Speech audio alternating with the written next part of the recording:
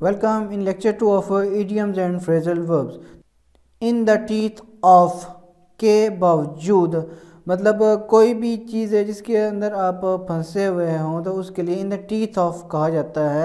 For example he succeeded in the teeth of many troubles वो बहुत सारी मुश्किल को फेस करने के बावजूद या बहुत सारी मुश्किल के अंदर होने के बावजूद कामयाब हो गया। इन द टीथ ऑफ़ के बावजूद। इन द ऑफिंग, ज़ाहिर होने के करीब। कोई भी चीज़ जो वकू पजीर होने वाली हो, बिल्कुल आपके करीब हो। जैसे कि आप इस एग्ज़ाम्पल में देख सकते हैं कि आपको एक सामने आइलैंड नज़र आ रहा है, किनारे के करीब बोट पहुँचने वाली है। तो ऐसा कोई वाक़ जो बिल्कुल रुनमा होने वाला हो, बिल्कुल करीब हो तो उसके लिए इन द ऑफिंग यूज़ किया जाता है। हम एग्ज़ाम्पल लेते हैं बिवेयर देर इज़ अ करल इन द ऑफिंग ख़बरदार, यहाँ पे एक लड़ाई होने वाली है या एक लड़ाई बिल्कुल करीब है। इन द वेक ऑफ़ के बाद आना मीन्स कि एक काम होने के बाद दूसरा काम आना या एक चीज़ आने के बाद दूसरी आना या आफ्टर मैथ जिसको कहा जाता है, उसके लिए in the wake of use किया जाता है। For example disease and hunger come in the wake of war के जंग के नतीजे में बीमारियाँ और भूख आती है।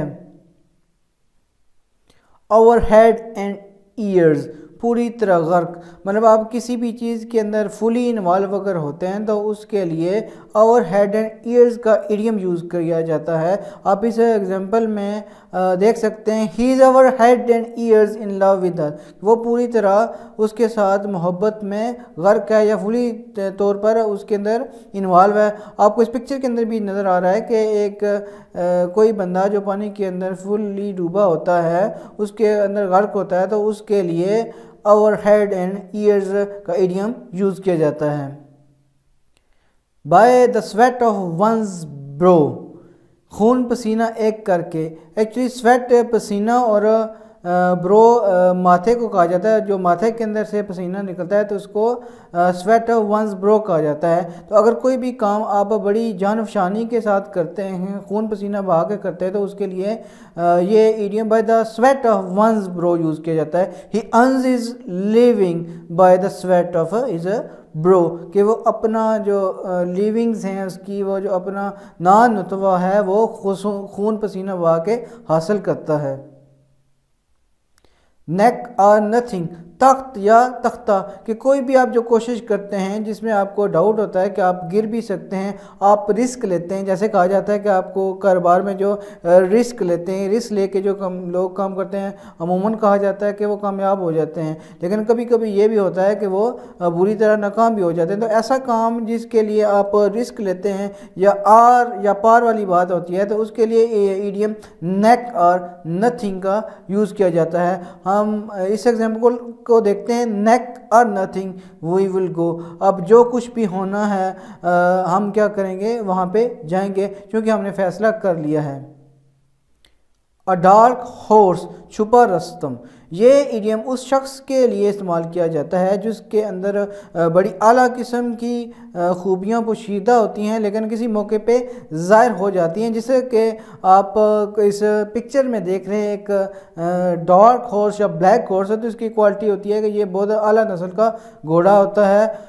He out to be to dark a in C S S examination, कि वो जो है सी एस एस के एग्जामिनेशन में एक छुपा रुस्तम ज़ाहिर होगा इसका मतलब है कि उसके अंदर बड़ी क्वालिटीज़ हैं और आप देखेंगे वो कामयाब हो जाएगा।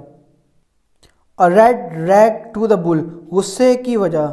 जैसा कि आपने मुख्तलिफ़ मकाम पर देखा होगा कि बुल को गुस्सा दिलाने के लिए उसके सामने एक आदमी रेड कलर का रैग या कपड़ा लेके खड़ा होता है। जब उस बुल के सामने रेड रैग किया जाता है तो वो गुस्से में हो जाता है। तो अगर किसी बात से गुस्सा ज़ाहिर हो या किसी को गुस्सा दिलाना हो तो उसके लिए a red rag to the bull idiom use किया जाता है। For example my name to my enemy is red rag to the bull मेरा नाम ही काफ़ी है, मेरा नाम सुन के मेरे जो दुश्मन हैं, वो गुस्से हो जाते हैं। या my name to my enemy is a red rag to the bull मेरा नाम ही मेरे दुश्मनों के लिए उससे की एक वजह है।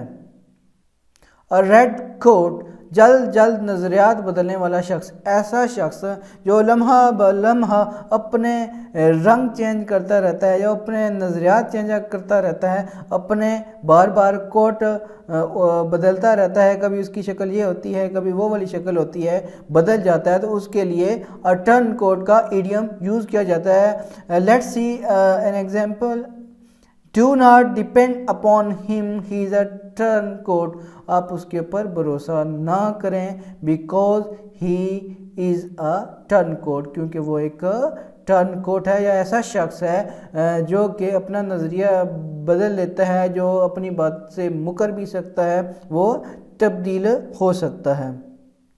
A fish out of water बेचैन होना। जैसे कि एक फ़िश अगर पानी से बाहर निकल आ जाए तो वो तड़पना शुरू हो जाती है, बेचैन हो जाती है। तो अगर आप किसी बात के लिए बेचैन होते हैं, कोई शख्स बेचैनी महसूस करता है अनकंफर्टेबल फील करता है तो उसके लिए a fish out of water का इडियम यूज़ किया जाता है। For example without his friends he feels like a fish out of water कि अपने दोस्तों के बगैर ख़ुद को ऐसे फील करता है जैसे कि एक मछली पानी से बाहर निकली हुई हो। इट मीन्स के वो अपने आप को बड़ा बेचैना फील करता है।